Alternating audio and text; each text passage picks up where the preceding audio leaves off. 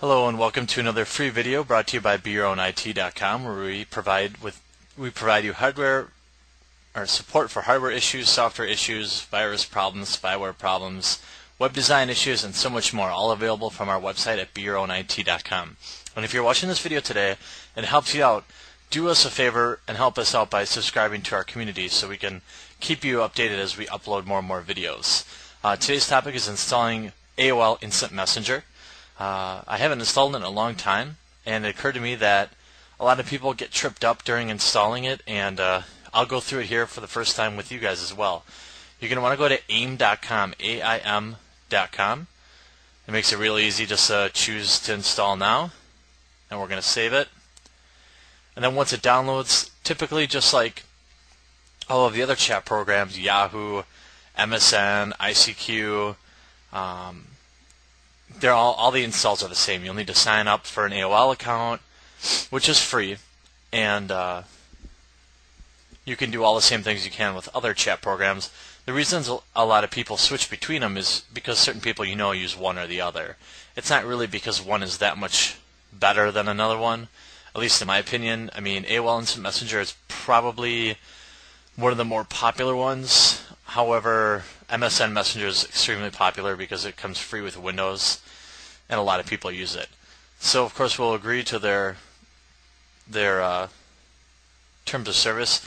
Again, here with as with all of them, you want to choose custom and get rid of all these other options. You don't want to install the AIM toolbar. You don't want to make AOL your home page. You don't want AOL your default search engine. You don't want these sorts of programs messing with your computer.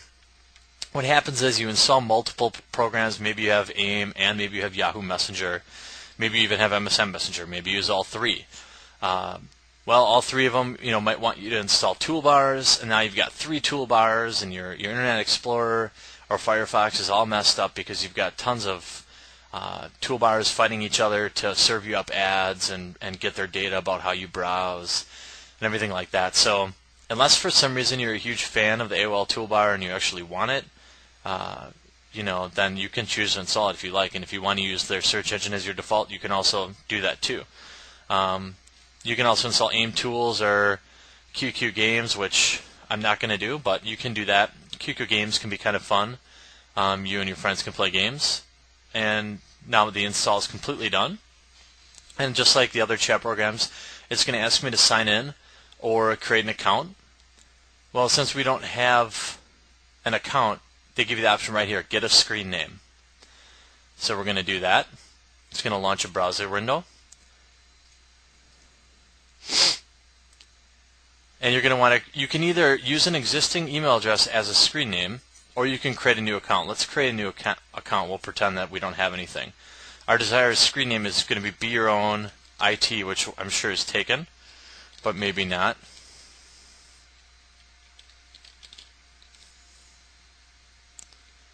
And then your display name can be different than your actual screen name. But we'll leave ours the same. Um, what's your favorite song? Boy, I don't know.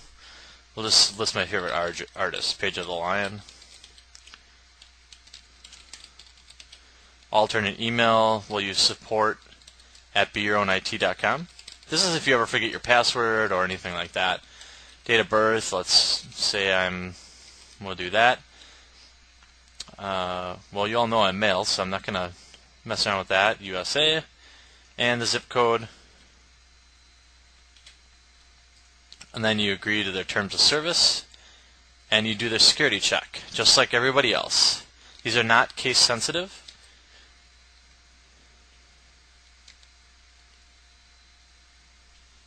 Sometimes they're difficult to read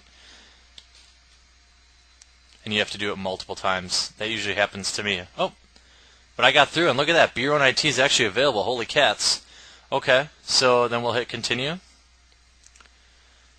Um, so we're done. And now we can go back to this and type in our screen name. And our password. You can let have it auto sign in whenever you turn on your computer. You can have it save your password, and then you sign in. It'll launch the AIM homepage. And what's kind of nice about AOL Instant Messenger is it's got tons of things like um, with bots, uh, Moviefone, so you can find out what's going on with your movies. There's all sorts of little bots in here that can help you out actually. Um, and adding contents again or contacts here again is easy, but they also have other features like the radio. You can do AOL mobile on your phone. You can check your email. You can play games, and you can use chat too. If you want to just chat within a you know with several people at once, you can do that sort of thing. Um, adding content, adding contacts is you know you can save a buddy list. You can load a buddy list under AIM, and then uh, under Edit you can add a buddy. And then here you can look for their screen name, and you can choose what group you want them in. Let's say they're your buddy. You can type in their screen name, their nickname, their mobile phone number, or their email address just to find out who they are and then add them to your list and then start chatting. So I hope this helped you install, get AIM installed. Uh, it's got a variety of uses, and um, if you have any questions, just email support at beyourownit.com. Thanks.